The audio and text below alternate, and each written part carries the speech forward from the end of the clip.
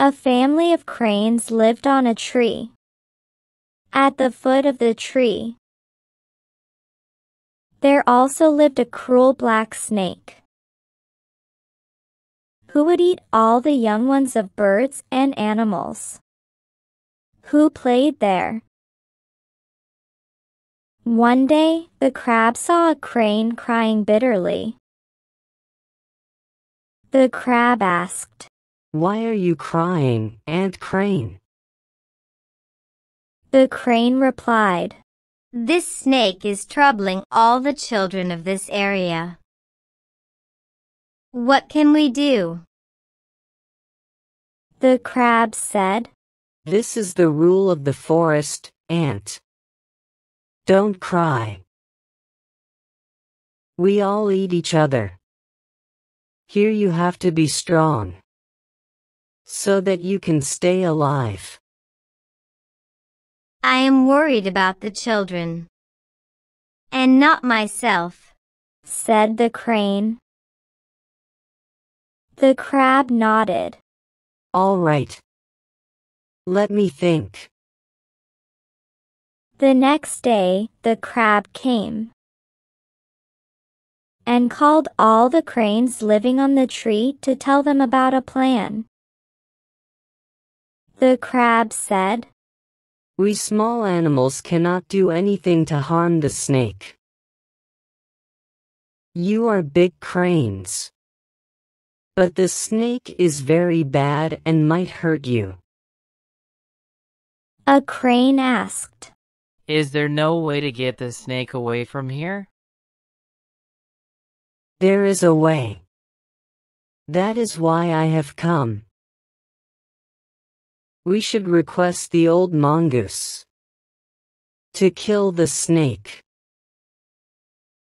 Because they are enemies, said the clever crab. But the mongoose stays in his hole all the time. How will we get him out of it? asked the crane.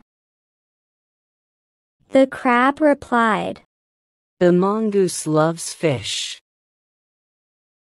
You are all very good at catching fish. Catch some fish. And keep it for the mongoose. And then? asked the curious crane. The clever crab replied, Place the fish in a line at some distance from each other.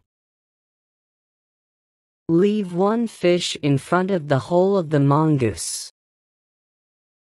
Then the second one. The third and so on. Till the hole of the snake. So the cranes caught six fish and kept them in a line from the hole of the mongoose to the hole of the snake.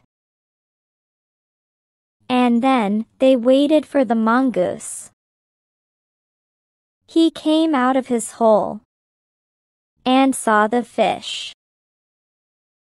He started eating the fish one by one. He ate till he reached the last one near the hole of the snake.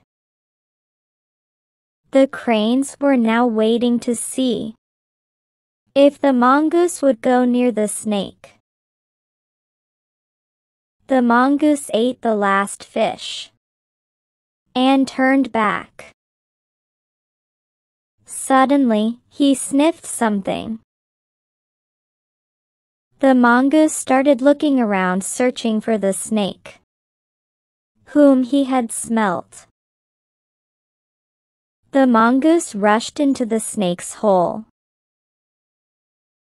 The cranes could hear the snake and the mongoose fighting. Soon, the mongoose came out of the hole with the dead snake in his mouth. The cranes thanked the wise crab for his wonderful plan that helped them to get rid of the evil snake.